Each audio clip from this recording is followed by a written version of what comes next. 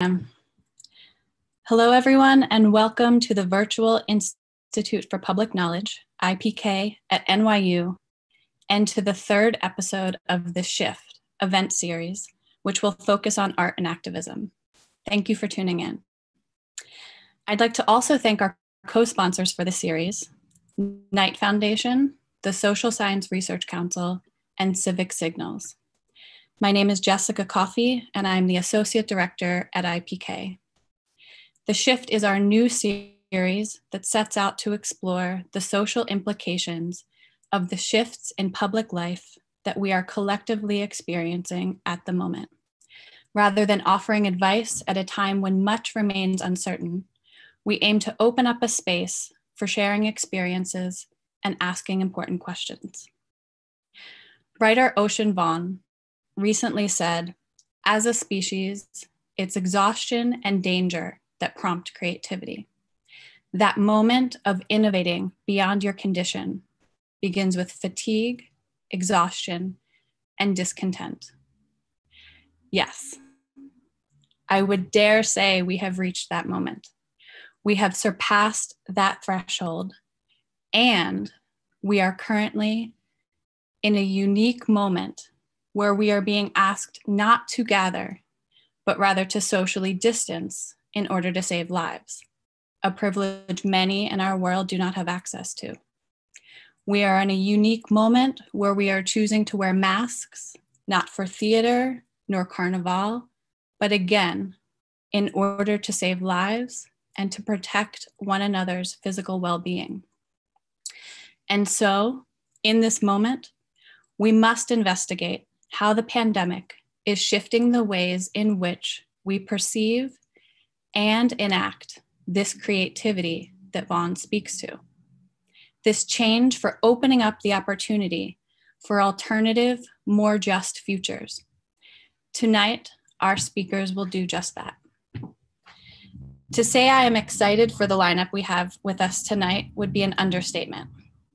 Three of my dear friends and collaborators, Gianpaolo Baiocchi, Alicia Grullon, and Luis Rincon Alba, together with Ernest Bryant, a great artist and thinker whose work I admire from afar, are all here to share their experiences and their questions with us. Moderating tonight will be Gianpaolo Baiocchi. But before I introduce him and hand over the mic, I want to thank the IPK team, Zari Lum, Arivel Figueroa, and Sam Dijon for their time and energy, as well as a special thanks to Rosa Colon Guerra, who will be live illustrating tonight's conversation. I also want to take a moment to underline IPK's commitment to acknowledging that NYU is located on the unceded land of the Lenape peoples, to acknowledging the Lenape community, and to committing to the long process of working to dismantle the ongoing legacies of settler colonialism I also want to express strong solidarity with the Black Lives Matter movement and to extend a deep felt thank you to all of the essential workers here in New York and across the globe. Now, our moderator tonight, Gianpaolo Baiocchi, is a sociologist and activist interested in questions of politics and culture, critical social theory, and cities. He directs the Urban Democracy Lab at NYU, he has written about and continues to research instances of civic life in both his native Brazil and the US. As one of the founders of the Participatory Budgeting Project, he has worked with the city officials in several US cities and has presented his work to the World Bank, the UNDP, HUD, and to both the World and US social forums. As a quick reminder, please post your questions on Twitter at NYU underscore IPK or on YouTube. And now I pass the mic to Gianpaolo to get us started. Thank you. Please vote and enjoy. Thank you, Jessica. And thank you everyone, the IPK staff for making this event possible. And I especially appreciate the acknowledgement, so I won't repeat those. Uh, I'm very pleased to be here with everyone tonight and to be able to have this conversation that we don't often have, but I think is very vital to have, which is about the role of art and to pause and think a little bit about the role of art in this moment uh, and its relationship to activism and to social change. So joining us tonight to have this conversation are three people whose work uh, we admire very much. First, we'll hear from Alicia Grullon. She's an Afro-Taino Caribbean descendant on Lenni Lenape land. Grullon has been featured in a number of group exhibitions, including, but not limited to the eighth floor, Brick House for Arts and Media, School of Visual Arts, El Museo del Barrio. Her activist work led her to be one of the initial and current organizers for the People's Cultural Plan, a collection of artists and cultural workers addressing the inadequacy, inadequacies with the city's first proposed cultural plan. Her most recent project, which we'll hear about tonight a little bit, is called From March to June at Home with Essential Workers, started in her home in the Bronx at the beginning of the COVID-19 quarantine and on view online at the Bronx Museum of the Arts through today, October 23rd. So it sounds like we have a, a little bit of time to go look at it after our conversation today still. Uh, we'll hear also from Luis Rincon Alba. He is a Colombian artist and scholar based in New York City. He has taught in the departments of art and public policy and performance studies at NYU. He's currently a doctoral candidate in performance studies uh, at the aforementioned university. He's an actor, performer, oral narrator, and has collaborated with different artistic collectives in his home country, but also in Brazil, Argentina, Mexico, United States, and Italy. His creative and academic work centers on the performativity of festive and carnival performance, tracing the aesthetic and political genealogy of carnival practices in contemporary literature, performance art, and music, and how this emergence troubles historical understandings of race, gender, and class. And finally, uh, our third member this evening of the panel is Ernest Bryant III, LPI. He is an artist and critic from the US of A. He has a background in interdisciplinary art. He earned an MFA from Yale University School of Art and a second one in art writing criticism from NYU School of Visual Arts. In his work, he uses nature, video, image making, history, positionality, theory, and humor to examine the ontological conflicts that arise between different aesthetic and cultural values. Currently, Bryant has been developing a method of augmented drawing that he describes as a form of drawing that uses line to explore value, labor, and its displacement.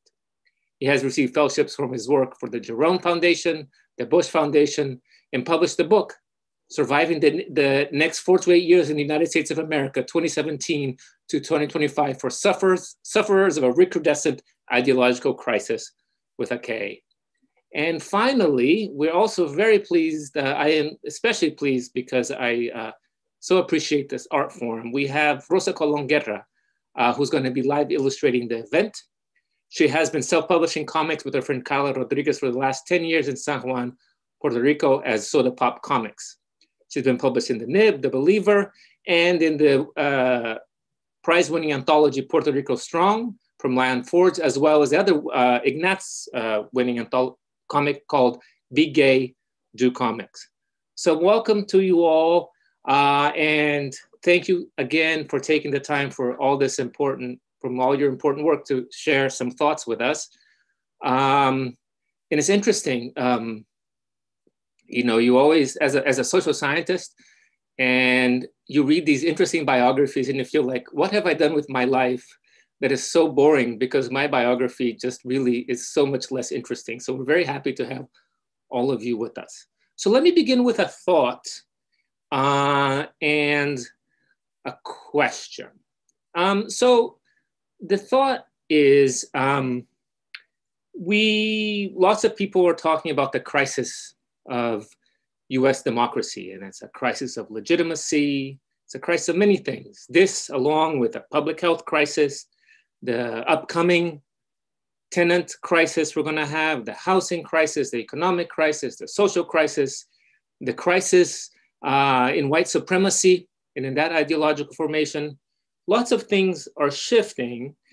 And one of the crises, one of the crises, and this is what I thought we could begin talking about, to me, is a crisis of representation, which is for the last several months, hundreds of thousands of people have been on the street uh, all around the United States, all around the world, wanting to have a racial reckoning and wanting to talk about racism and systemic racism and wanting to make the saying that Black Lives Matter meaningful, wanting to end uh, police torture and violence, uh, immediately. And somehow that, along with many of the other demands, doesn't seem represented.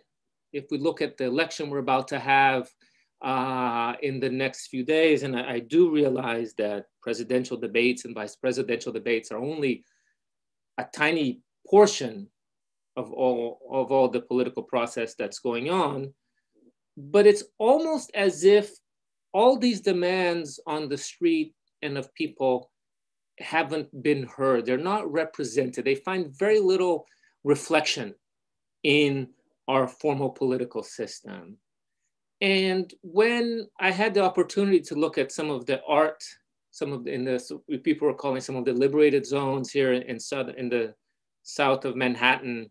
When I've looked at some of the different graphic novels that people have put out, it seems to me that art is a space to think about these claims, to process these claims, to imagine new possibilities and new worlds.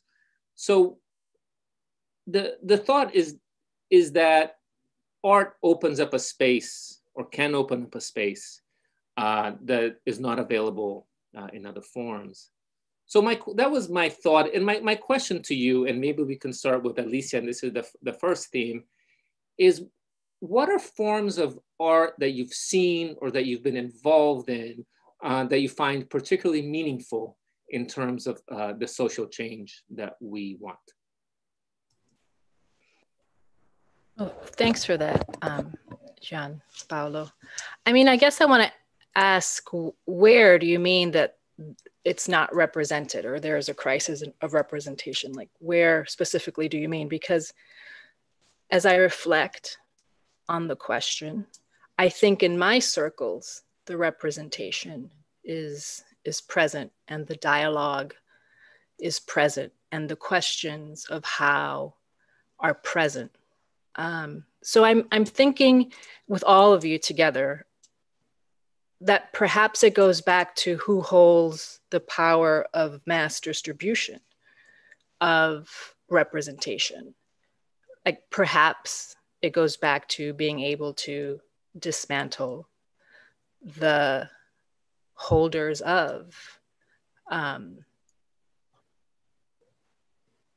the mass scene the larger distribution more accountable or to break it down.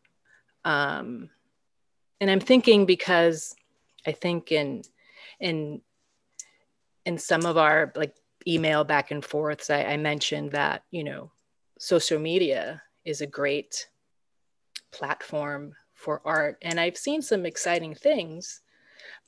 And then when I reflect, I keep in mind that access to social media relies on access to having a cell phone, having a cellular plan, a mobile plan, or having access to some sort of device, which entails having access to the internet, which entails having a bank account, right? So, access to information and access to lines of re- um, distribution or representation from that angle are, are severely limited. And then when, when we look at um, television or films, you know, we still have Hollywood is, is still backwards when it comes to representation of of people and and their persistence of othering um, BIPOC people is, is, is still startling in the 21st century.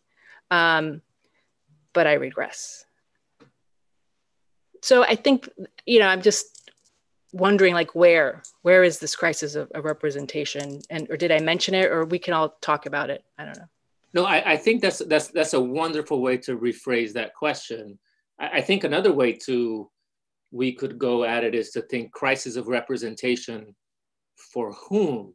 You know white supremacy seems to be plenty represented and the dominant racial order seems to be uh, plenty represented. So I, I think the I think to ask this question about art and activism and social change in this moment and, and what is what could be meaningful, maybe the way to to go at it is as you're suggesting, which is how is art distributed? Who holds the power in the distribution? What is the access do people have to the different forms of social media, uh, for example? Ernest or Luis, do you wanna, do you have thoughts on, on this?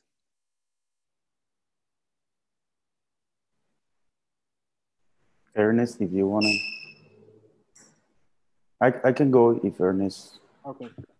Um, yeah, um, I, I, I'm thinking of the of the word representation, and then always like uh, I, I always force myself to think of um, of presentation uh, at, at, the same time, um, and then basically uh, I, I, one of the most exciting uh, works of art, just to follow up on, on, that question that I've seen, is precisely Alicia's uh, uh, series for the Bronx Museum that is still online that uh, necessarily like poses the question of like the necessity of that representation for like thinking essential workers. Um, but at the same time, I've been like what's been going on with like my personal artistic life in the last few months is that something that it was like marginal, uh, marginal in a good sense. It was something that like it was part of my life, which uh, uh, has to do with music and like gather with people and like play some music. Somehow now that like uh, digital platforms open a new space, is is becoming with it, it's, it's coming back with a with like a new force, and it's a new force that uh, uh, a couple weeks ago, I was talking to the uh, director of like Theater Mitu, uh, Ruben Polendo, and we were like thinking of like the, the, that wonderful text by Anton Artaud, wonderful and tra- troubling text, uh, essay on the theater and its double, uh, the theater and the plague, and what happens after the plague, and what happens with like encountering. Uh, so I think it's like fascinating to like the most exciting, I, I, I, I'm not able to like point out, but specific works of art. I, I mentioned Alicia's. Uh, there is this photographer Camila Falquez who's like taking up digital spaces, but also like putting works in in public spaces. So I think that something that I've been having in mind is uh, how we can do both. I, I heard uh, an indigenous uh, woman from Colombia, a, a political leader, uh, of the Sierra Nevada, Santa Marta, saying like, oh, we got to put our fingers online and we also have to put our fingers on the soil at the same time. And that's like a double value that we have right now because before COVID, we were planning a meeting and getting together in New York, and suddenly it like, you know, it, it, it got canceled. And what happened, it was that we ended up doing the event and meeting, uh, and then uh, a group of indigenous women from the Amazon and from the Sierra Nevada, Santa Marta in Colombia, they were surprised. They were like, oh, so we needed this uh, pandemic to start doing these events online. So we could have been doing this for like the last five years and we're not, now we, we don't need 20,000 or $30,000 to go to New York. So I'm, I'm, I'm, I'm referring to that as like the necessity to like avoid the, that that uh, the premises of representation, especially in U.S. USA USA politics, in which like politics turns so easily into a reality show, which is like the like the quintessential form of like representation gone bad. Um, so I'm thinking of like presence and how is it that like uh, even though in the mid in the, in the midst of this crisis, like presence is is remerging. Uh, and thinking of presence not as in opposition to the digital, but as like a new complementarity. Um, yeah. I think those are really wonderful. And I want to keep a couple of these points alive, this issue of presence. I like I love this phrase of politics as a reality show. But I wanted to turn back to Alicia a little bit. And I, since um, Luis mentioned your project, I wonder if you might talk a little bit more about it, about this project of essential workers before we move on a little bit. How did you come up with the idea for that and how has that been? I mean, and for audience members who haven't seen it, it's up at bronxmuseum.org. Um, it's through probably 1159 today. Um, and it's a series of, of self-portraits that are still in progress. And the title of it is From March to June. um, at home with essential workers. Um, and my, my medium is interdisciplinary, uh, but mostly from the perspective and from the starting point of performance art um, on photography and for video. So I don't often, very rarely, do performance art um, live. Uh, my background's also in in drama as well as in visual arts. So the way that I approach uh, performance art um, and performance, particularly on the on on image and image based media, comes from the point of storytelling and what can an image whether it's static or moving, tell us um, what kind of stories, what kind of histories pop up in it, um, and what questions are we left with. So in the Essential Workers series, I I perform uh, different essential workers while at home um, in in my home. So really exposing you know what my home looks like presently um, and exposing that landscape that uh, we often don't have um, access to um, it could come from our way of seeing our way of seeing that we've been taught um, that i feel has a lot of um, grounding. Grounding is probably not a good word in this situation, but its foundations within uh, the colonial gaze, right, and othering, and photography in itself being a tool of colonialism, right? started off as a tool for science, but then inevitably became a tool for um, and of the colonizer, right, in documenting and showing other, right? So we're left with. Um, we're often not left with the perspective of of who is the image taker right? Um, and that landscape that informs a lot of what um, an image is supposed to allow us to see or question, right? Um, so in the series of work with essential workers, being in the middle of a pandemic um, and having access, having well, very limited access to to other human beings for a, a good period of time, um, my own my my social interactions were limited to my my immediate family, which consists of my two middle-aged school children, and um, and essential workers. Right. So when I would go to the supermarket, that would be my social interaction. Um, receiving the mail would be my social interaction. Seeing delivery people, seeing construction workers, you know, working while you know everyone around us was getting sick and dying um, and how to how to how to grapple with that and work through that as a human being um, be, became important for me um, but also how to tell this story in history how to how to be able to tell this this perspective of history that i was living through um, and and living through with others you know because all we had were our exchanges, right? Our, our glances of being scared shitless um, most of the time, you know?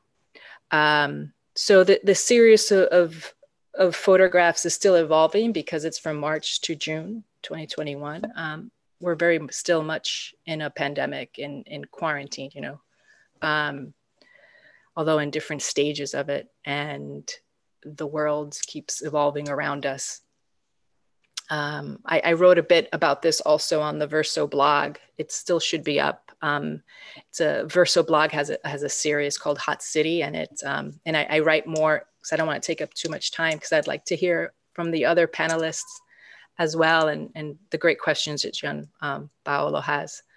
Um, but I, I, write a little bit more about that in the Verso Verso blog Hot City um, about this series of work that I that's up until tonight at the Bronx Museum. Oh, that, that's wonderful, Alicia. And I would, I, if people who haven't seen this, uh, I, I, was looking at it earlier. It really is a, a, really striking piece of work, and I, I thank you for doing it. And I, I found the Verso blog. I think it was, I think it's still up. It's very interesting. But I wanted to turn it to Ernest for a second because, or for now because a lot of the, the, the themes that have come up, uh, storytelling, ways of seeing the colonial gaze, thinking critically about presence, uh, relate to some of your own work and thinking. So as, as you look around, what do you see? Uh, how do you respond to these points or what do you see as exciting kinds of art in this moment?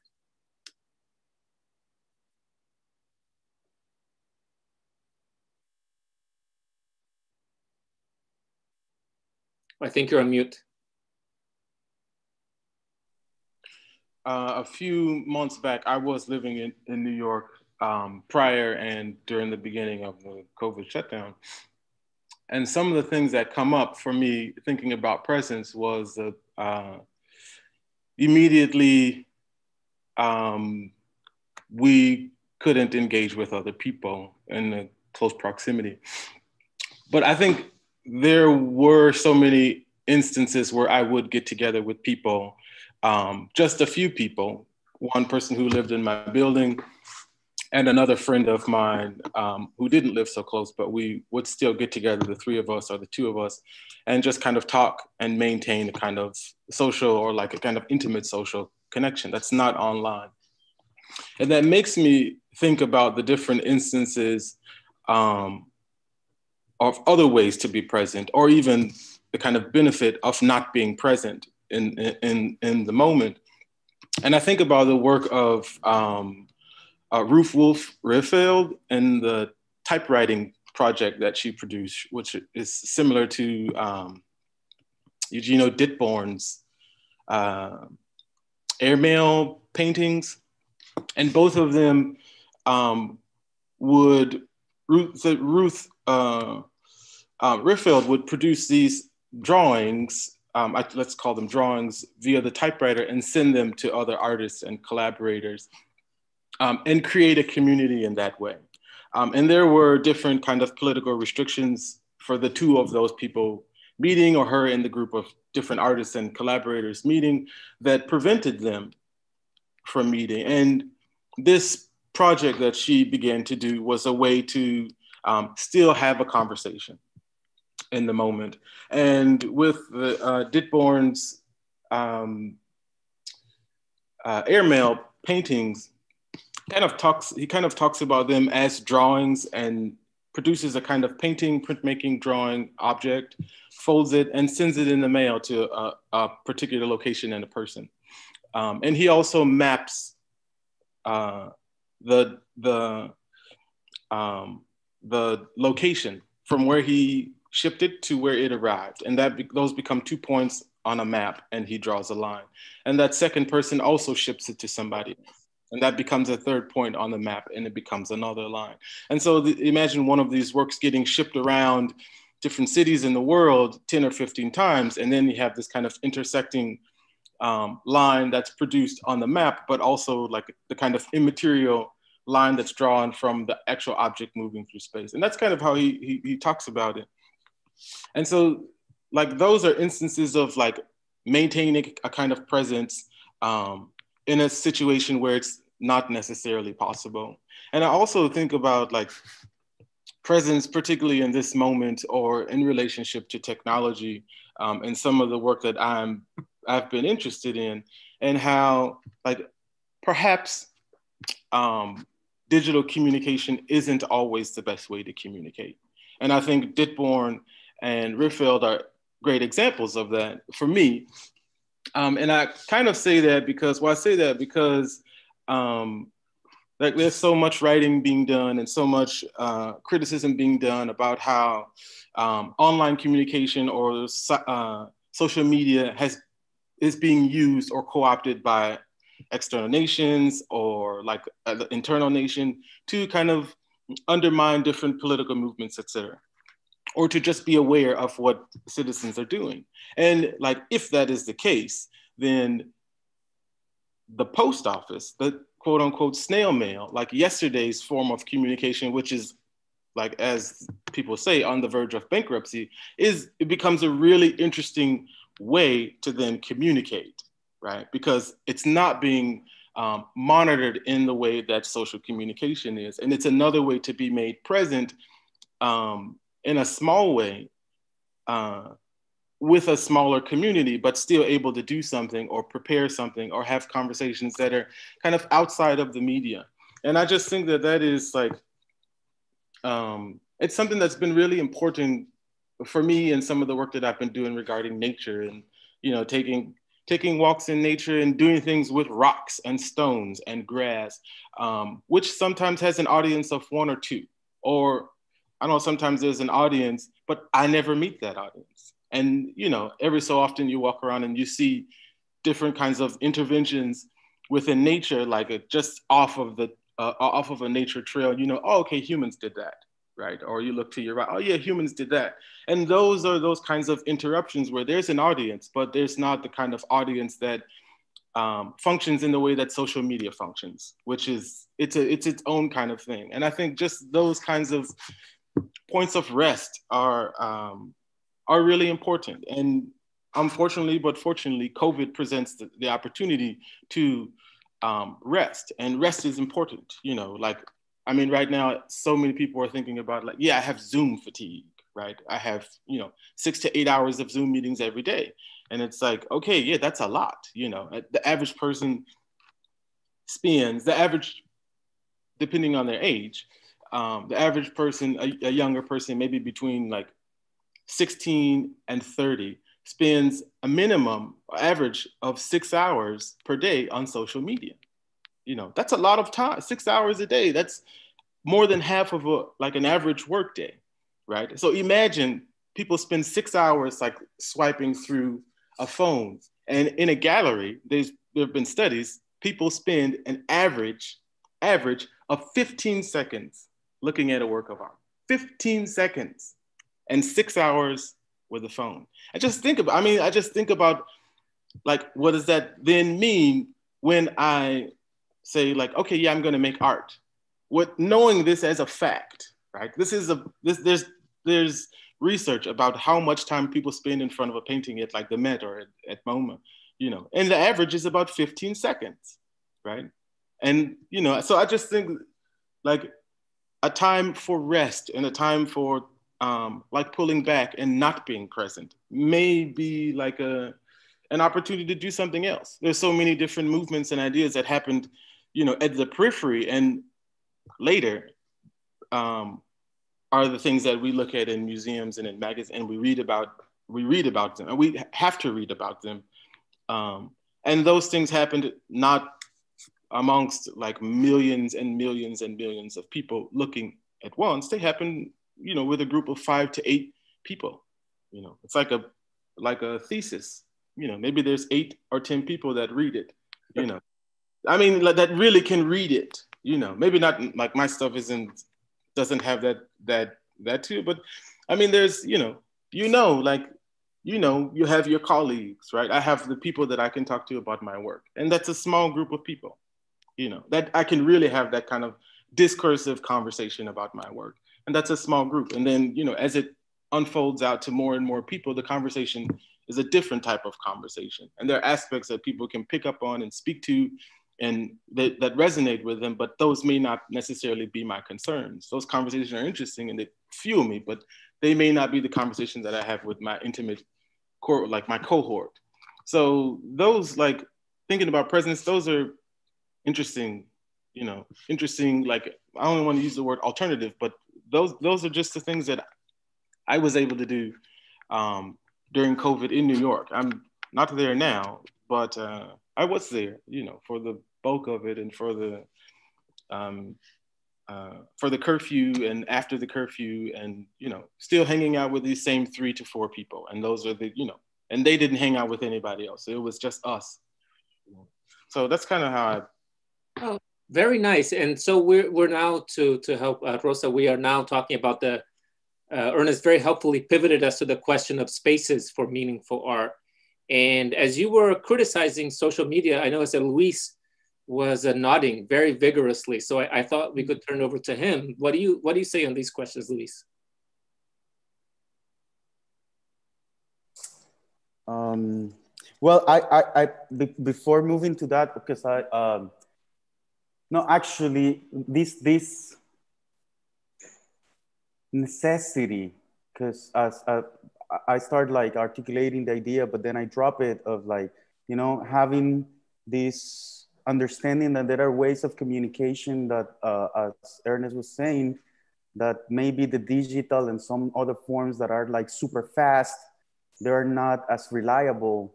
And, and somehow this necessity of rest and this necessity of slowing down um, was uh, fascinating and also a terri ter terrifying kind of experience at the beginning of the of the pandemic. Um, this idea of slowing down that like at the beginning when it's not that things are like more clear right now, but at the beginning, like for example, for me, I couldn't for the first first few months I couldn't sit down and read more than page and a half.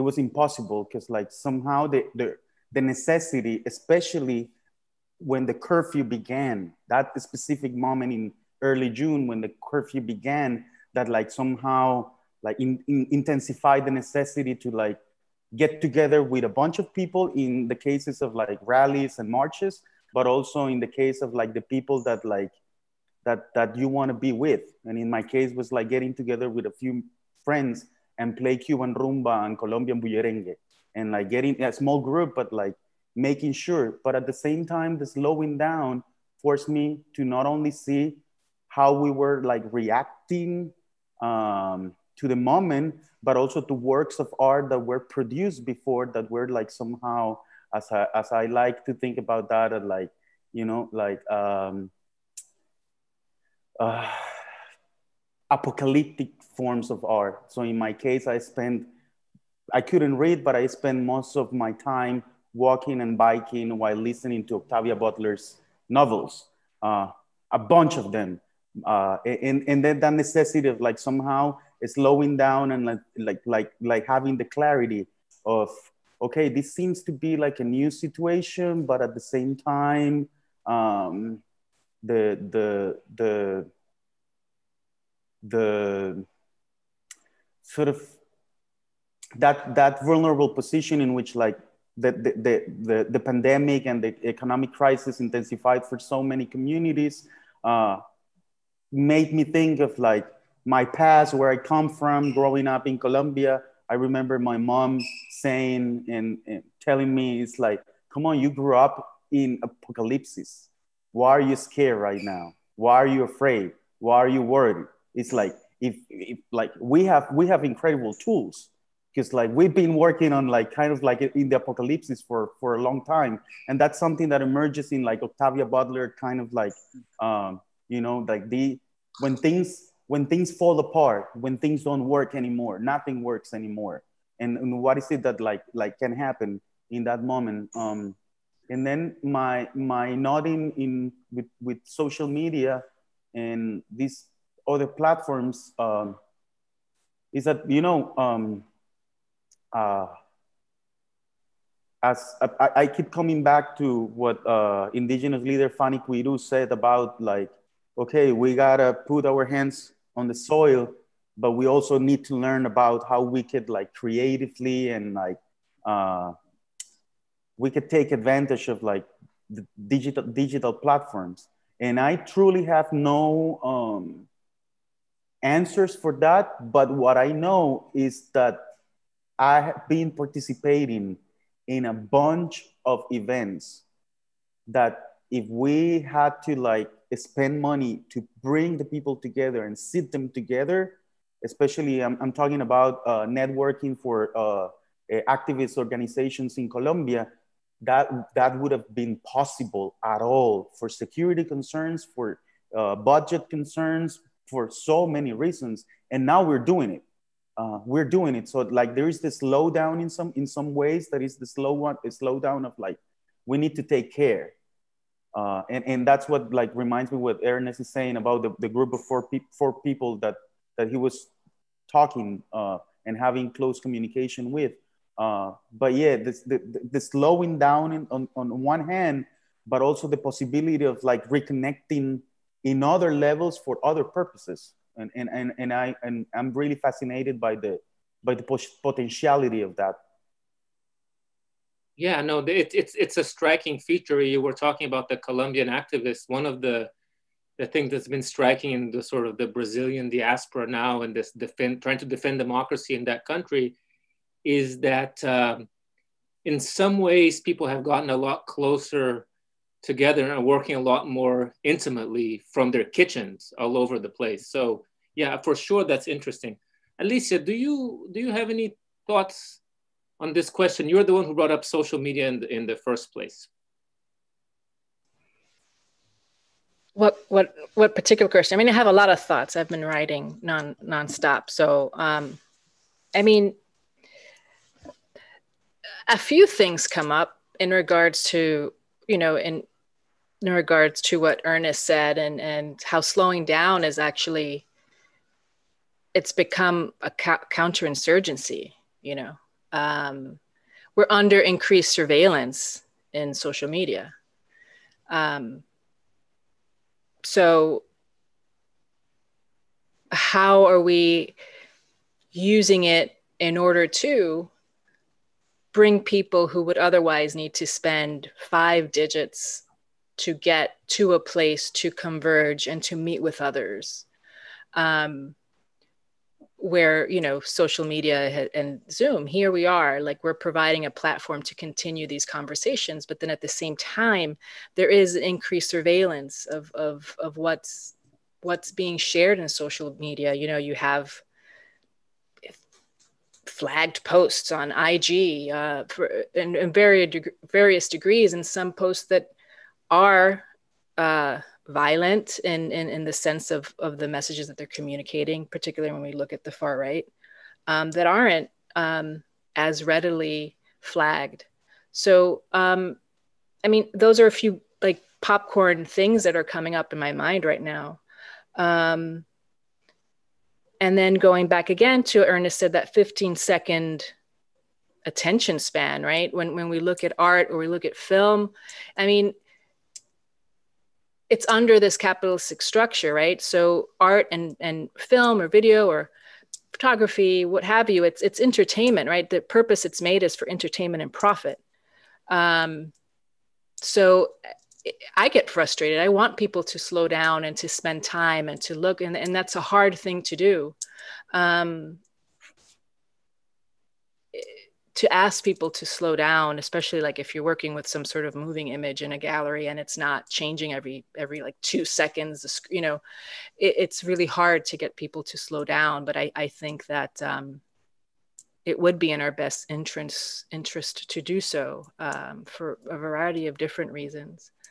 Um, i mean those are just a few things in my notes that well, i that i have and then like what's the difference between presence and representation? That's just like something that i wrote down that it would be great to hear other people uh, other panelists I, viewpoint on that um, yeah let's work on this presence representation but i'm definitely taking one of your phrases and i'm going to make a t-shirt that says slowing down is the counterinsurgency alicia. I think it's actually it's one of the things i'm taking away already from tonight's conversation which is wonderful I want to, so Luis and Ernest, do you want to talk about this uh, presence and representation uh, relationship or dynamic a little more? Then, then I want to pivot to uh, a couple of the more polemic questions I had sent you as well. Is it, um, what, let me just kind of get clarification. When you say presence and representation, is it like um, politics of representation or like I'm not represented in this or that section of the society, this kind of criticism, or is it something else? That's up to you, Ernest. all right, all right, all right. Um, hmm. Hmm. Hmm. I mean, I, I, I think about like regarding like politics and representation. I, like that's something that is uh, often on my mind these days, and often um, even when I don't want it to be. Um, but I think about like, you know, again, like um, sometimes it's like a good to not be present. And like to kind of further expound on that, I have like a couple examples. Um, I can remember the name of the essay, but there's an essay that uh, is criticizing or it's critical of um, the algorithms that uh, perform the facial recognition. It's crit- critical of the software that functions along with the digital cameras to recognize faces and then um, do this or that with the data. Um, and so much of the criticism uh, says like, oh, you know, because uh, this uh, algorithm is written by this particular group, this particular person who has this particular mode of being in the world, it doesn't recognize these groups of people because their faces are, are different. And so many of the essays, I guess, I get more specific, it's like, okay, these algorithms are written, written by um, young white men and they don't recognize faces of color. They often misgender or um, identify a person as criminal when they're not. And so I just have been thinking about that and thinking about that um, and thinking about like, okay, that's an instance, right? When it's important to not desire to be present, right? To not desire to participate, right? In those moments, it's like um, before you could walk down the street and um, people are not paying attention to you, right? After certain types of conversation or the media um, and the society is in a, having a particular type of conversation, then everybody greets you, right, in the street. And then you can no longer have that peaceful kind of walk, and you have to go further and further into the countryside, to the periphery. And uh, what I, it makes me think of like the different acts that you can no longer do when everybody recognizes recognizes you. You know, like talk to any um, celebrity, and they often say like, "Oh, I wish I was," you know, "I wish I was not famous," or "I wish I just had the wealth and not the fame," you know, or "I wish I had so much wealth that you didn't know who I was if I wanted to sit next to you on the subway." You know, that level of of um, wealth with no online presence. And I just keep thinking about those like sometimes it's good to not be known. You know, sometimes it's good to not always desire presence and always desire participation because participation doesn't always mean something good. You know, it, it doesn't always mean something beneficial um, for you. And I, it makes me think of this um, other way of participation or kind of politics of representation is a friend of mine shared with me um, this DJ named DJ Afro Amigo. Um, and we were having a conversation about the politics of representation and like black people, women, et cetera, in film and not being present in film. And uh, he shared with me this video. And in the video, this uh, artist, musician, DJ takes films that are not translated. He's a Kenyan uh, filmmaker, artist. He takes films from everywhere in the world, films that are popular. Um, and the one that I saw was, uh, I want to say it's Enter the Dragon. I'm not sure, but Bruce Lee was in it. Uh, and he says, okay, so this is what this guy does. He takes the film, he watches the film, and then he watches the film a second time and creates a dialogue, right? Not knowing what the characters are saying, but he just works off of the image. So he recreates his own story about these different characters and overdubs his voice for the different characters to produce a narrative that uh, other Kenyans in Kiswahili can now engage with and can now like one with the audio and the kind of like co-expressibility of hearing Kiswahili along with seeing Bruce Lee like pop, pop, pop, you know, punch somebody. It has the potential to draw people in. And so one of the things he said about this casually, like, oh yeah, that's something we all watch. And I was like floored, like, are you serious? This is that ubiquitous? This was that ubiquitous for you growing up as a teen? He said, well, yeah, you know, this guy's super fan. And then he, you know, he shared with me the videos. And I think that's an instance where um, the kind of physical um, or the kind of um, mimetic representation of a person isn't necessarily present in popular media. Uh, to, for this example, like thinking about film, but uh, the person is able to participate in a way that may be even more heightened and more intimate than if um, the character or the figure was a person who looked like, just on the surface, looked like them. And so I think those kinds of instances are really interesting because it does two things. One, it just says like, okay, yeah, anybody can read any text or look at any film and map themselves onto the character and participate as the protagonist or the antagonist and cheer and you know like look at a film and say yeah like this is the good guy this is the good good girl the heroine you know and i like this particular character i identify with this character and that character doesn't have to look like me you know? So i just think like there are other options and there are other ways to like engage with film with media with art with image um, and not necessarily like uh, answer the call to be represented because sometimes that representation isn't always good. You know, there's so many films that come out and people are like, oh, that was garbage or that was trash or that made us look so bad. You know, that made this person, that person presented them in the negative light. And what if it was a kind of DJ uh, Afro Amigo presentation of the film where he's presenting a Kenyan narrative with Kenyan values or in, Kiswahili and people can identify with and still participate in the blockbuster image of a Hollywood film with big explosions and people fighting and crashing planes into buildings and all of that drama with something that's very, very intimate. And so there's the kind of rupture, but then there's also the rejoining together with the audio and the video. Um, so those kind of, that's, uh, when thinking about that question, those are like examples um, that I think about regarding like ideas of politics of representation and a desire or answering a call to be present, or even just having a, a desire or an intense desire, like I should be there, I need to be there. It's like, well, maybe that's not the place to be. Maybe you don't want to be that person. You know, maybe that person is like utterly despicable. Maybe you don't want to find yourself in certain individuals. Maybe it's good for you for one to just find themselves alone with a group of like-minded individuals that have some shared values, you know, and people may or may not come along and check that out like years later, you know. If they do, cool. If they don't, like they don't.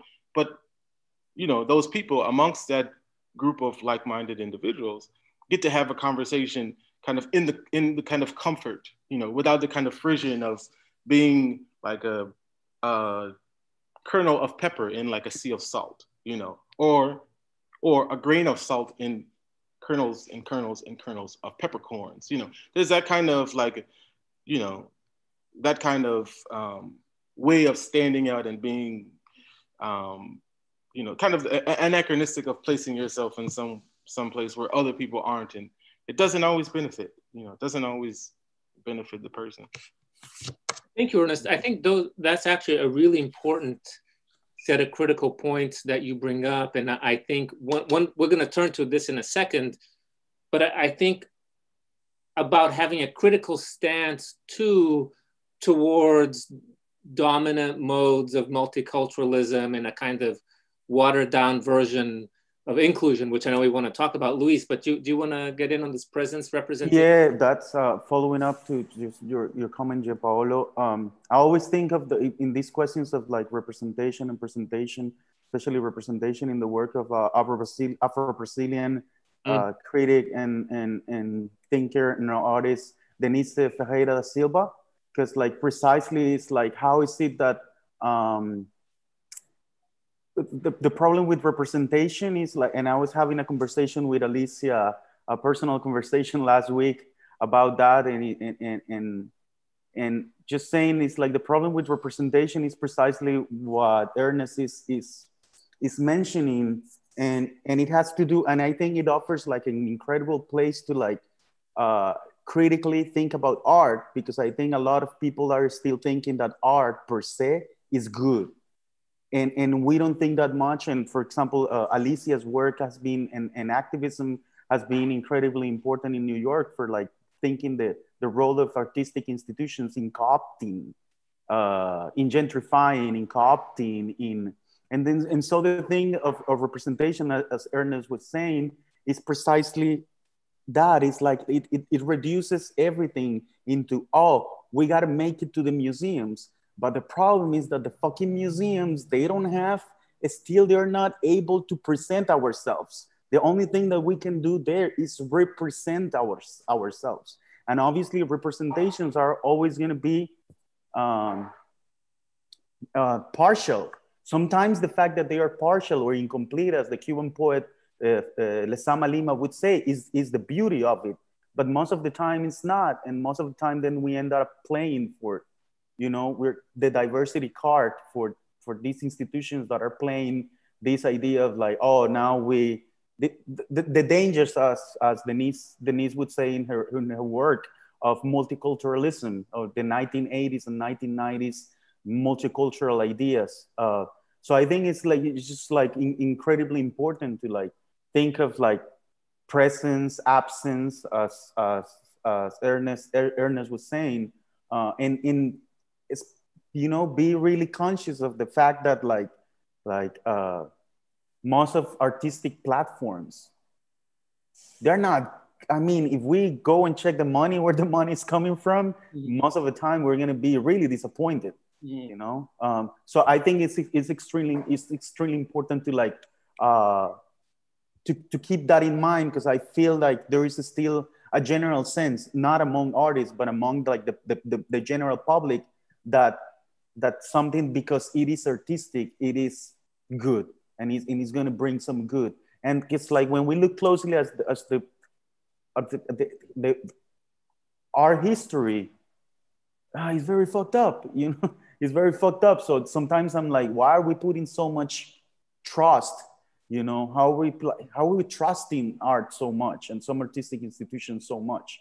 Um, so that's that's sort of like my my thinking because uh, it has to do I, I don't think it, it can like the, the idea of like the politics of representation and aesthetics uh, they can they cannot be detached in this in, in, in this in this moment from each other. Uh, it's, it's incredible it's, it's impossible. Um, so yeah that's that's the thought that i have from um, you know the, the, the, idea of presentation and, and representation and like somehow like avoiding uh, in some levels, mute, we, we could think of mutual aid as some kind of like politics that avoids that idea of representation and like people just get together and present and gather and say, hey, what is it that you need?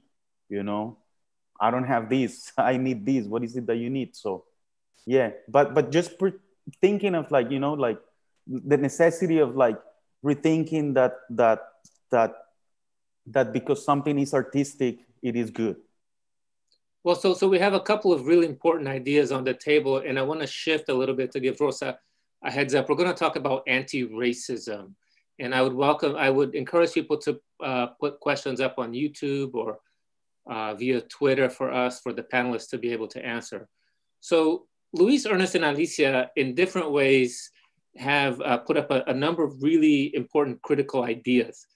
Um, so Luis was saying, look, this assumption that art is good is something that needs to be questioned.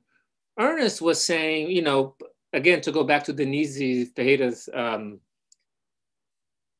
uh, work, one of the limits of the framework of representation is that there's this image almost of like a container that needs to be filled with the right kind of multicultural content so that you have, you know, a tapestry uh, but there was never uh, talk of why is this container this shape and why is there only one and, and, and, so forth, right? So there's a kind of liberal fiction and the very language of representation is kind of like a transparent process.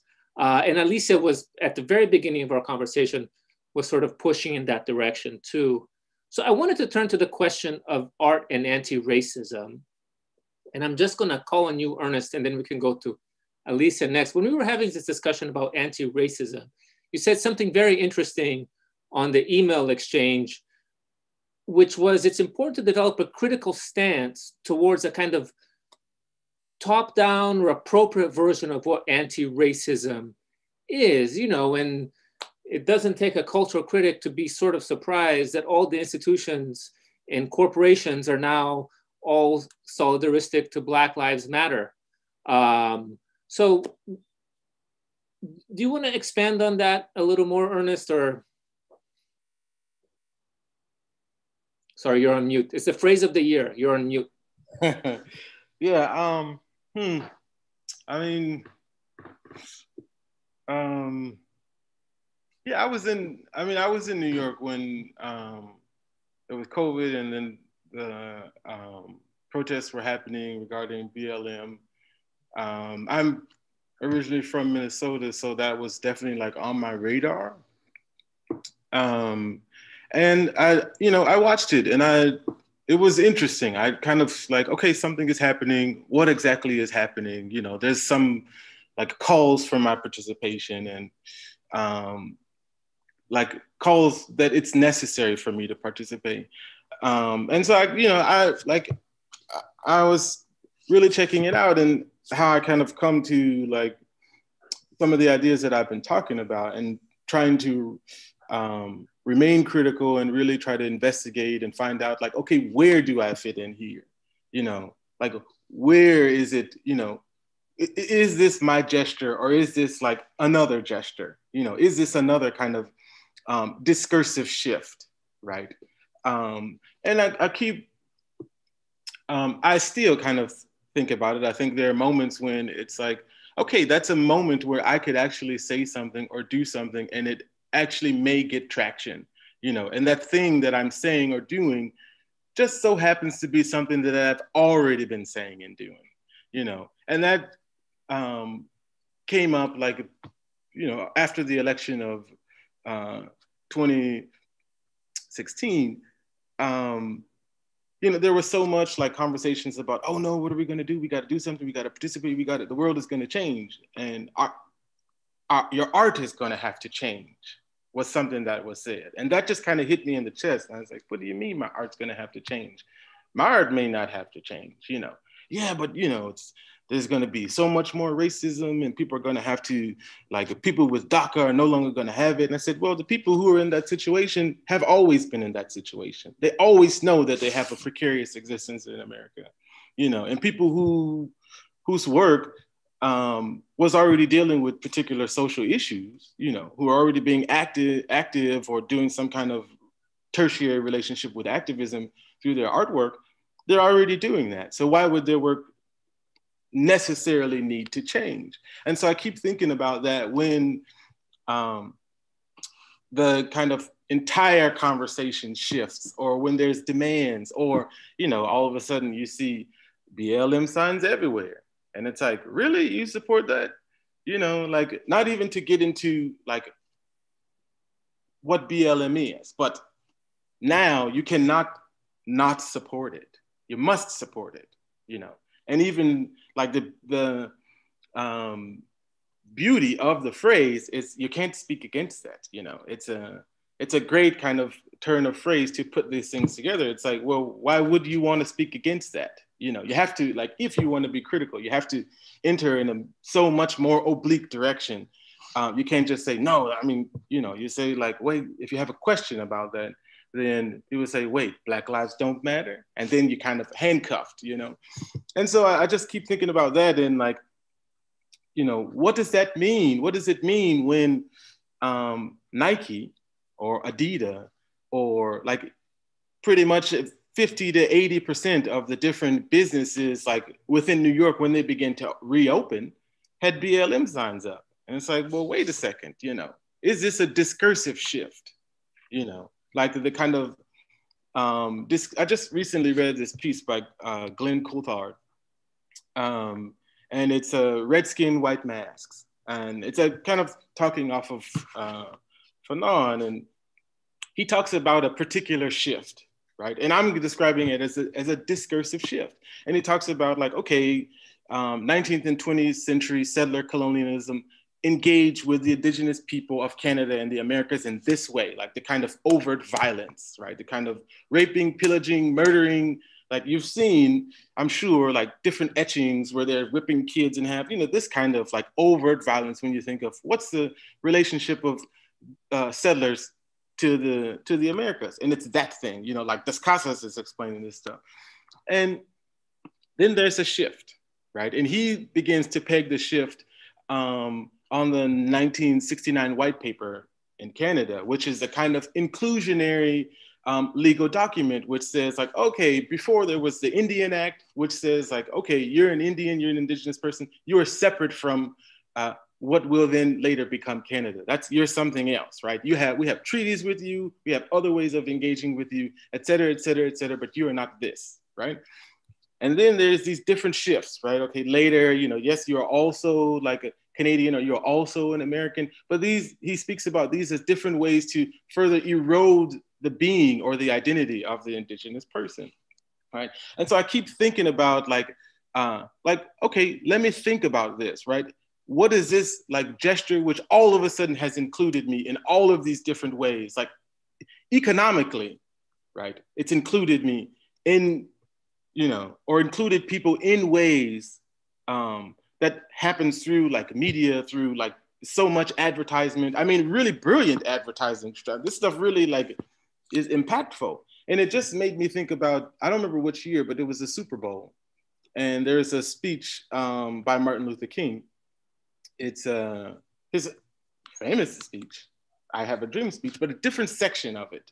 And in that section, uh, he's speaking about people who have a particular voice that resonates with the masses of people being co-opted, right, by the state or by this or that, right? And his voice was the background audio for a truck commercial that played during the Super Bowl, right?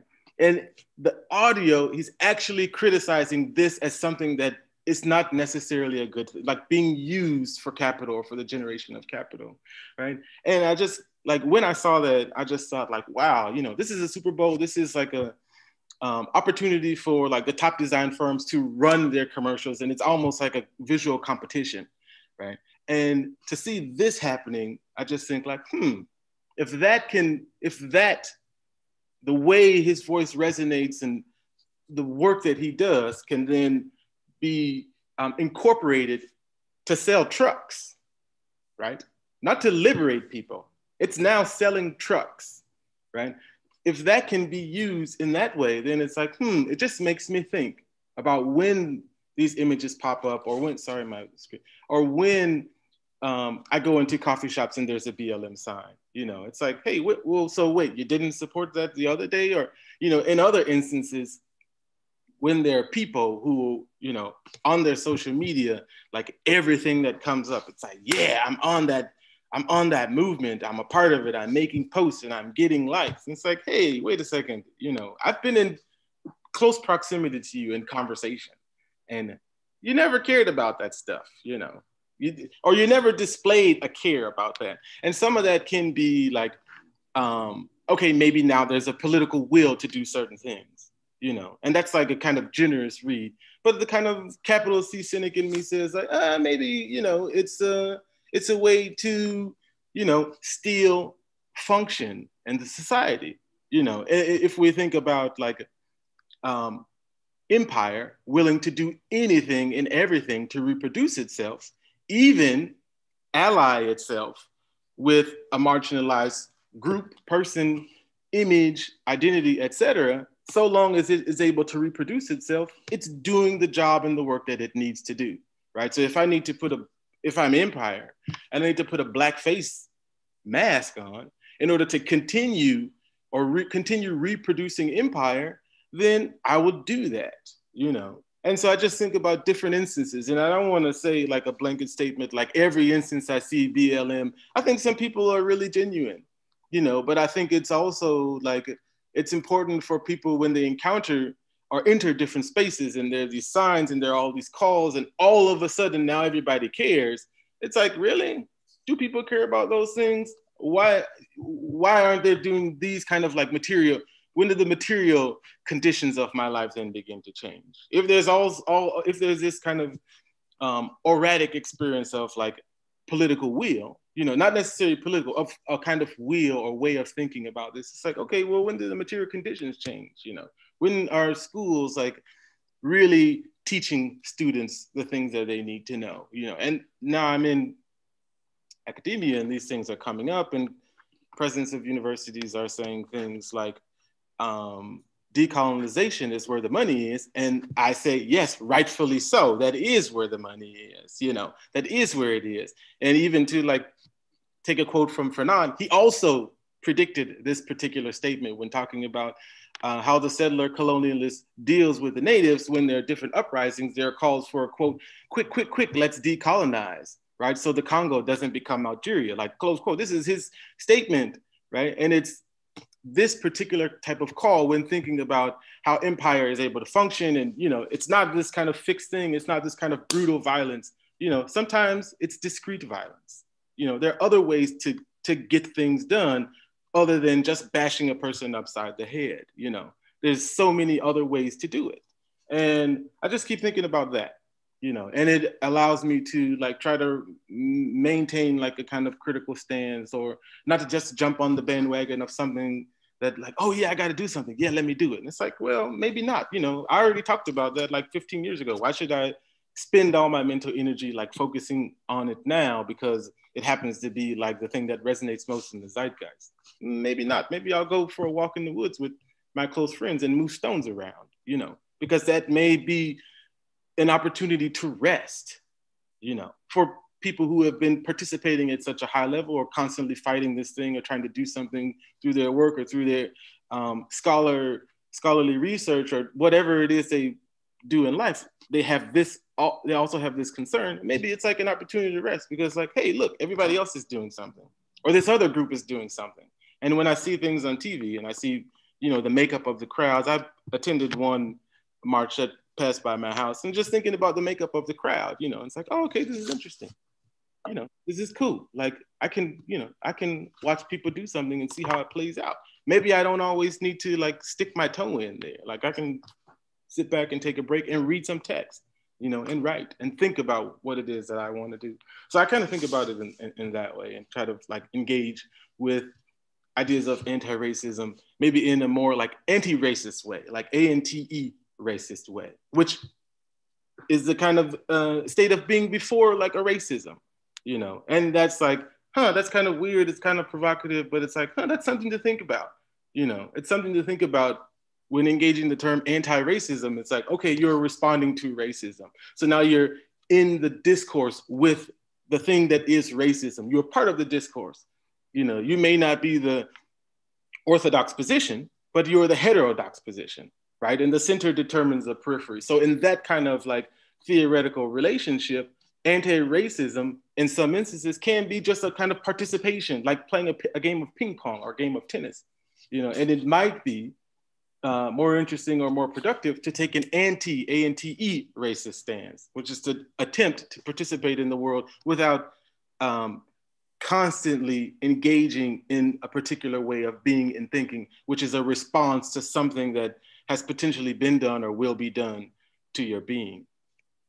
Oh, very nice, Ernest. And a couple of, of things, you know, to keep alive this thread of a critical relationship to representation. And it seems like you're gesturing towards uh, critical removal, refusal, participation is not necessarily inherently good, kind of going back to these notions of have, what, what does a critical stance towards this kind of dominant multicultural anti-racist discourse look like? Alicia, I want to turn it to you because I know you're taking lots of notes. And, and like I said, your, your phrase that you started with, the slowdown is the counterinsurgency, uh, still seems to resonate. Yeah, I'm, I'm always taking notes. Um, I have notebooks of notes, but um, I mean, a few things come to mind. I got a flash of an image um, at the beginning of the question and while Ernest was speaking. Do you all remember that image of, of Congress um, yeah. with the Kente cloth? Um, you know, Pelosi and Chucky Schumer.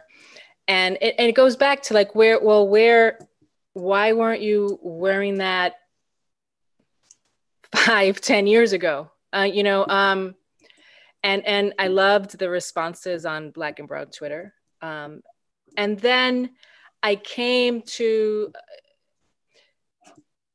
one thought of like, well, what does anti-racism look like?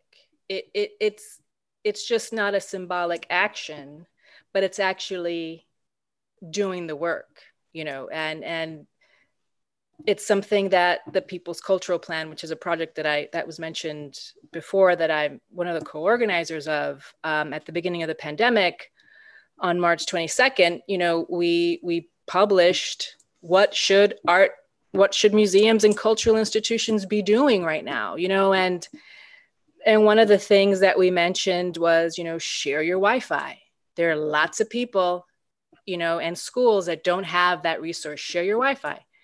Um, you know figure out how you can reuse your space um, whether it's for food or testing or ppe you know reconfigure who's getting paid instead of like firing those at the lowest of the totem pole you know reconfigure your salaries um, redistribute um, put pressure on on your representatives on your board members who are you know far and large a part of you know the issues that we are um, facing.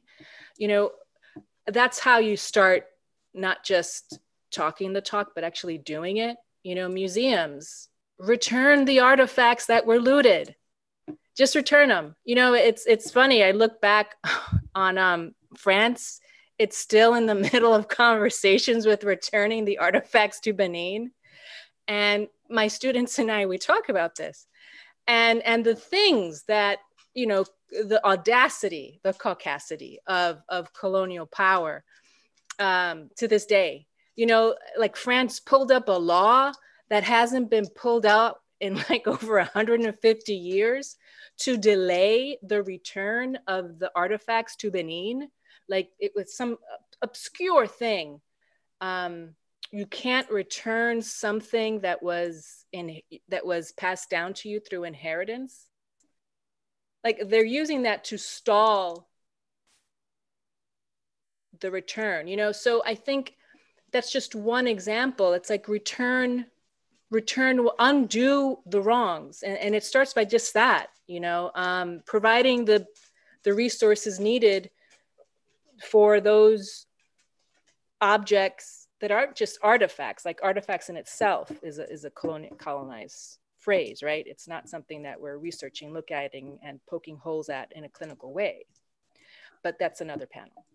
So, you know, and then provide the resources in which these, these objects can be repatriated. You know, it's just, that's where my thoughts are right now. And I don't want to take too much time up. Um, but what what anti-racism looks like.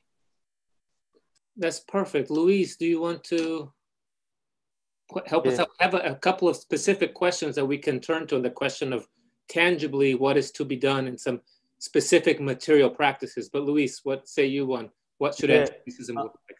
Oof. Um, well, I follow uh, what the model of like what is my life and my scholarship and my artistic practice, which is carnival and, and sort of like the clues that reside in carnival as you know because people think of uh, carnival as like people parading costumes. And then i i like like to remember people uh, to, to help people remember that uh, um, that before costumes were costumes they were uniforms. And they were uniforms identifying gangs all over the caribbean in trinidad in colombia in venezuela in cuba in guadeloupe in Haiti. And these gangs were like rioting and rioting against a specific colonial and, and, and, and laws that were like slowing down the process of uh, the abolition of slavery. Uh, so like it's, it's that, that's sort of like the model and like that resonates with uh, what Ernest said about not anti anti-racism, but anti anti-racism, because like then is again this opportunity of slowing down for me is always like looking back as, as like, well, some of us in different ways and in different capacities and in different different uh, levels of vulnerability, we've been going through this like like apocalyptic world for for for a while. So like for me that resonates and that idea. Um, I think what Ernest said is like super beautiful about like why is it that my art have to change? And uh, at the beginning of the pandemic, I heard poet and scholar and a dear friend of mine, Fred Moten, said, like, look, like the people are asking me how is it that the pandemic changed my changed my my work? And it's like basically like fuck that. If like you have to change if this condition needs to change your work your work is because you weren't doing the right work you know? And i think that's incredibly it's, it's beautiful it's powerful and like it like help us to like um just can see that like I mean, there's this obsession in the US with the new and latest, and like that is like so tiring so much. Uh, and, and freeing in some other levels. And like in Latin America, there's obsessions with canons and like old things. And like, but I think there is a, there is something like an in between uh, those two possibilities that is like, yeah, definitely. Like, I, I, I, I think I love to think of the parade because like that's where parades took form in the Caribbean. The, the appropriation, the co-opting of the European carnival tradition is like we're gonna take up the streets and we're gonna make some noise and we're gonna make some people in their safe houses feel uncomfortable. And and and and, and that's powerful. And I think I, I like to think of like the parade and the march as, a, as an art form. Uh, and, and, and, and also negate the condition of art form because like that's a reduction uh, it's not that like this needs to get need, need to be recognized as art because it is something greater it is something bigger. And then one of the things that em- that emerged is like i remember the chants at the beginning of the of the marches in late may and black lives matter black lives matter black lives matter. The, and now if you go to a march you're going to see musical ensembles and you're gonna see that like these chantings they took on a, they are taking in a completely new new level. So at the same time i'm living in these times that feel like completely new. And at the same time i feel sometimes that i'm in the midst of like emerging in a new emerging carnival way more po- political than the carnival that we have had in the caribbean until now. And that maybe we're in that moment of like creativity and like retaking that and because like the, the the change in the in the network in the sort of like the support the logistics in in in in marches it's taking a level of complexity that is really beautiful. I mean the chants the black lives matter chants just turned into at least 25 different chants with music with bands with ensembles um, and, it, and i feel it's really beautiful. And and i've also been thinking of like the difference with like 10 years ago uh, Occupy Wall Street that it was like taking a space and holding it and try to defend it. And now it's just like the moving thing. And I feel that's like a clue. That's that's that's a clue for like for like being able to move and not I mean be present if like that's what it feels that it is necessary in the moment. Or as Ernest was saying, not being present, negating, slowing down, uh, slowing down the process, as Alicia was saying. Um, so so I, I i like to think of like my way of thinking and my way of like dealing with these things is like is always looking back at like what a word that sounds like a cliche here for people that have no contact with them like no no whatsapp group with their ancestors but like yeah look back at like what their ancestors did and what they are telling us today. Oh that's very nice. Wonderful. Uh, we are coming to we've touched on a number of important themes, um, but I want to be able to give the, the, people who've sent in questions a chance to ask them. And it sounds like both these questions are coming from people who are close to the practices of art or artists themselves. Um, one, I'll, I'll put them both and whoever wants to say something about. One of them is in New York City with the layoffs in different organizations like museums and theaters and the budget cuts, what do you think, or can you speak about the inequalities and the no protections for artists in artistic work? So one is about the conditions of making art, a little bit to Alicia's point. A second one, what about the role of white artists? What should it be right now? How can a white artist participate and be an ally and create without speaking over artists of color? Should white artists be creating art about race? So two provocative questions. I don't know who wants to say something to.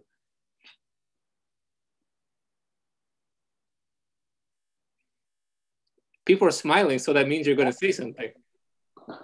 Um, can you first repeat the first question just so I can make a note? Yes, the first question was about the inequalities and the no protections for artists and artistic work right now in the context of the layoffs and the budget cuts. Yeah.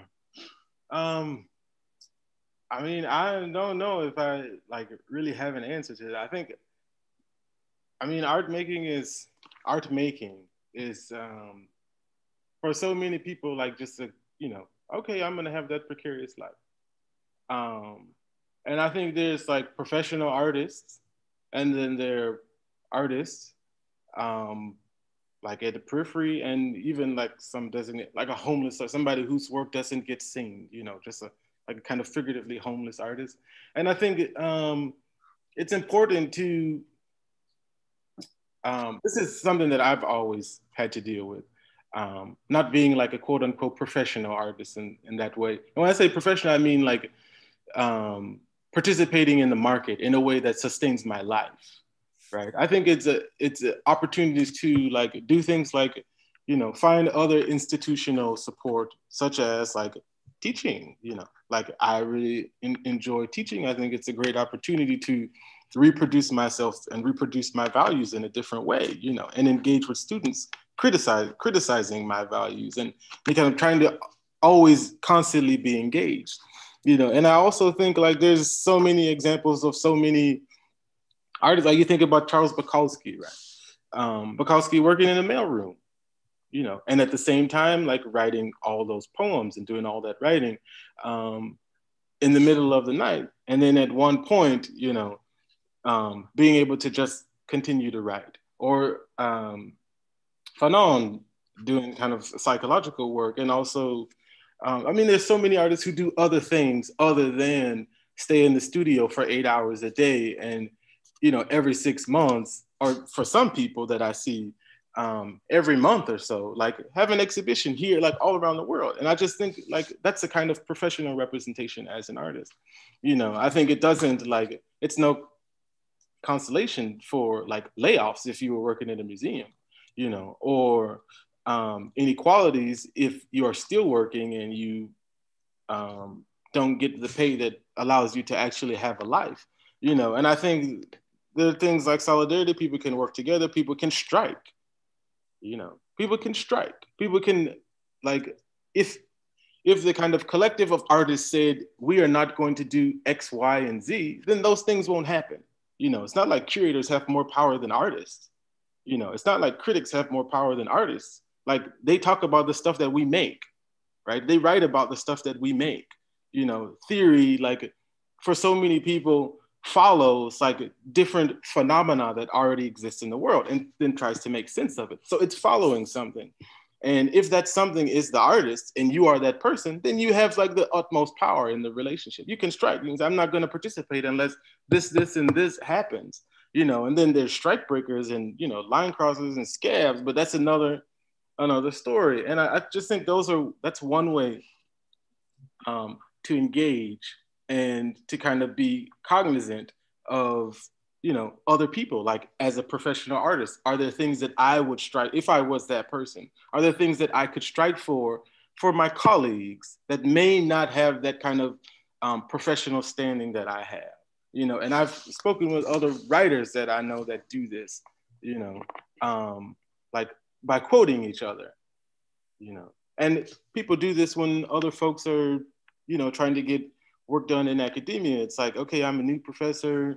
I publish these papers that are kind of obscure, and you know, their their colleague reads them. It's like, oh yeah, I'll quote that. You know, I think it's interesting. I'll quote it. You know, and it begins this other kind of unfolding and the creation of a discourse. And sometimes that can help. Sometimes it doesn't, but sometimes it can. But that's just something that I um, have recently become aware of and trying to do a kind of cultural exchange, exchange with a friend of mine in Russia and trying to do just to create this bridge, you know, and it may be crap, but it's like, oh, well, yeah, let's do something. You know, I have resources here, you have resources there.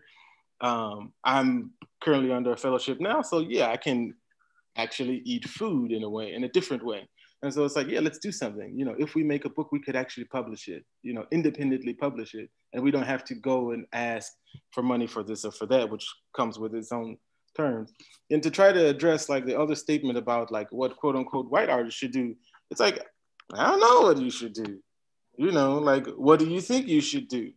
You know, it's like, I mean, I could say like, there's certain things that I could say, but man, you know, maybe not, maybe it's better not to say say that thing, you know, because then it just can become like a way for me to corrupt a person. You know, like I once saw this video and I can't remember the name of the um, teacher. It was a teacher and he was teaching a group of students and they all got to ask him a question.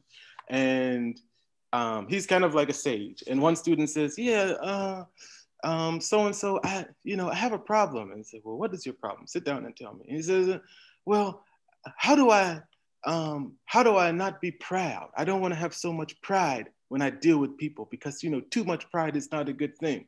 And then he sat down. And he said, hmm, this is an interesting question, right? It's interesting that you asked me this question because you know what it is that you need to do, but you asked me because you want me to pervert you and get you to do something else so you don't have to actually confront what it is that you already know you know and i think that's one of the best kind of like examples. It's not my example but it's something that i've seen that i think like okay sometimes i do know the answer to my question. And sometimes asking a person what i should do is just a desire to be perverted away from seeking the truth that i already know. Is like right around the corner. And I just need that one person to tell me, like, ah, you don't really need to do that, you know, and give me some reason.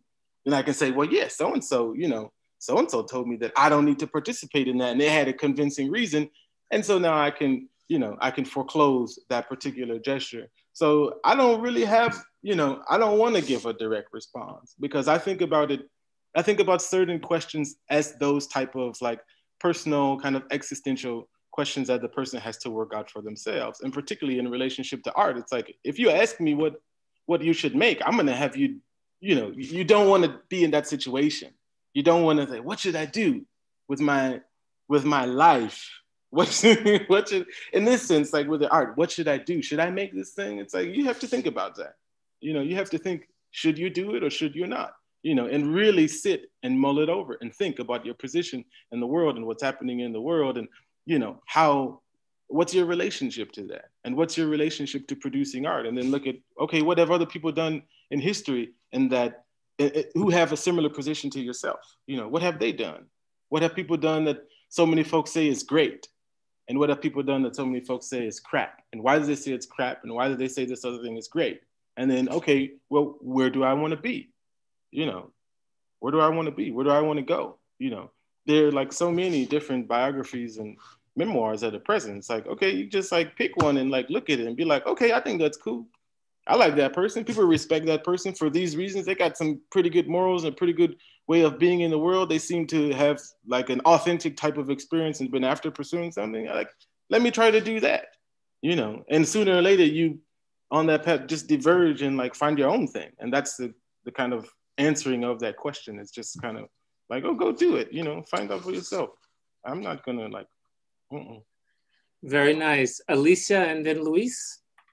Do you have thoughts on either of these questions? Um, I I have a few, a, couple of thoughts on um, you know, artists, and I, I think that on the first question, to be specific, um, I think that yes, art making happens. It continues. Art making for artists continues. You're still going to be making art. Um, I think that how can we lessen the hustle, right? I think that perhaps it starts with um, aligning ourselves with workers um, and understanding that there, I mean, there are class issues and educational privileges. Um, that are inherent um, when you become an artist and how you become an artist, right? If you go through the academia route um, as opposed to self taught artists, right? So, um, and I think that it, it starts with, and this is going back to the people's cultural plan and why we came together is, is for many things is that we're workers first, right? We're tenants first. Um, aligning ourselves with with with workers. So what's important for workers, what's important to the majority of people who are on the brink of getting evicted from their apartments, right? It's like stop, stop the rent. We're stop, stop the rent. Just freeze it, right? Um, I couldn't help but just another flash image that article amazon google facebook they're buying up all these office spaces um, while small businesses like tiny businesses we're not talking about chain stores small little businesses are struggling to survive, right? Um, because why? The, the landlords have not stopped the rent, right? People are on the verge of losing their apartments because the rents have not decreased. They continue. credit checks, credit report, all that continues to alienate and to prevent people from living. So how do we um, remain living as artists is make, making sure that other that workers are able to to be in this city without having to sacrifice 90% of their income to paying the rent. And that's just a start. That's an example, right? Um, I think that once we start having that conversation and and uh, again putting putting action and work behind it, I think that you know the survival of arts and art making will be will will will start becoming a pivotal important question, right? Um, and and I have nothing to add to the second question that Ernest has not covered. Luis. Yeah, so um, I think uh, Ernest said, said it all about the second question, but the, the first question, um, I think that, um, so that like the, the, the, the commonality of, of our visions, I, I feel here of art and activism is that they both require a coming together. And that coming together might mean different things for different people. Um, and I think we we here we, we heard like a, a critical and alternative and creative ways of like coming together. But but but I would say that like one of the things is like in in and I tell people of you know carnival traditions in the Caribbean have been existing for around 300 400 years and for most of the time there was no funding for that for most now there is funding and like commercialization for some things but like there was no funding. So and that allows to see in carnival carnival krewes escuelas de escuelas de samba eh, comparsas cumbiambas like all these forms of collectivities that make carnival. There's no funding.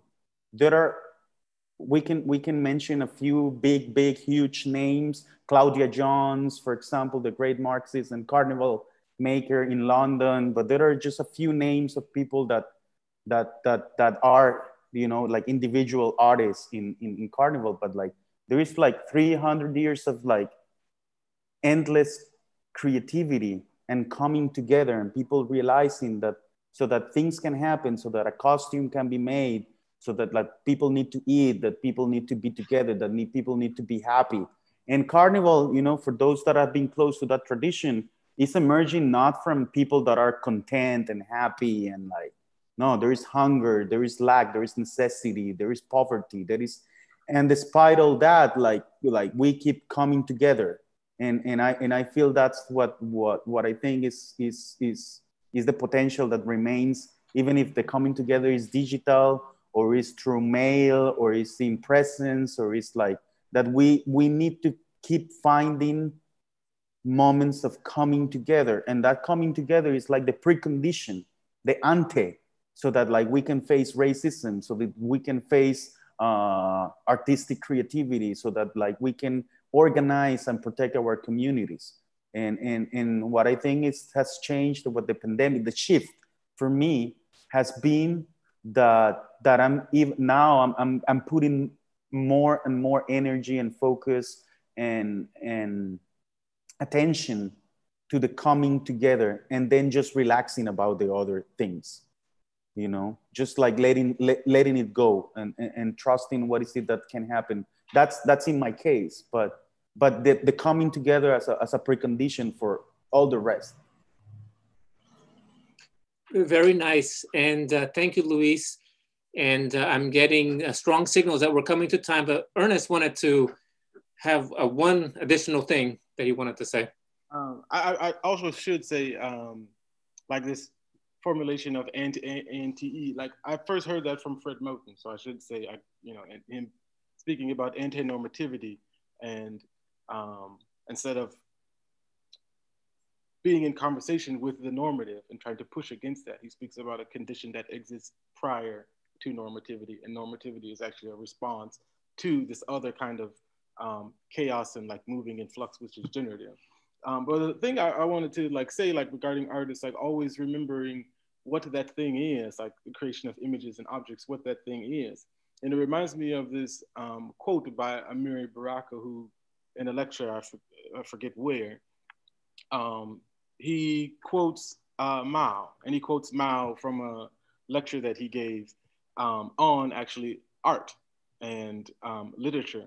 And he says, like Marx said, or not Marx, uh, Mao says, um, all, um, all propaganda is art, but not all art is propaganda, but not all propaganda is art, right? And then he continues and he says, like, when you paint a flower, um, that's your propaganda about that flower, right? And then he he continues even more and he says, like, you know, it's this, this is so important. He says, in a world, it's it's about like um, grabbing for um, truth and beauty, you know. And I think this is like interesting. It doesn't become like this, oh yeah, yeah, because he continues and he says, like, yeah, you know, in a world of lies, you know, rampant lies, like bring up truth and present truth and then see what happens, you know, and you know, bring up in a world of ugliness, like bring up beauty and say that I want beauty, and then like see what happens, you know. And he goes on to talk about like, so what the artist's role is,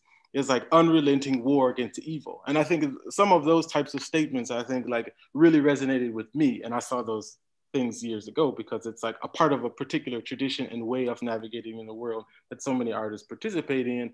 But exactly what that is isn't he doesn't disclose what it is exactly, but he does say like, okay, this these are ways of being, and here's the context. Here's the context of the world, and do this, and then you see what happens. You know, just do it. So that's just wanted to share that. Very nice. That, that's a wonderful closing statement for the discussion tonight. I feel like we could go another two hours. but speaking of slowing down and Zoom fatigue, but I really wanted to appreciate just the thoughtful and sharp engagement you brought to this conversation and pushing against these questions. You know, these are such vital issues. Uh, I, I, look forward to being in conversation with you uh, down the line with these. But thank you so much. Yes. Thank you all so much. And um, the only thing, very quickly, that I want to add to the second question um, is that I think white allies of all types artists, activists, academics, neighbors, partners, friends can be opening up spaces for the work and the voices of our POC friends um, and be a little bit less worried about how we are perceived in our own art or work right now. I think actually that's something that I feel deeply. So I wanted to add that.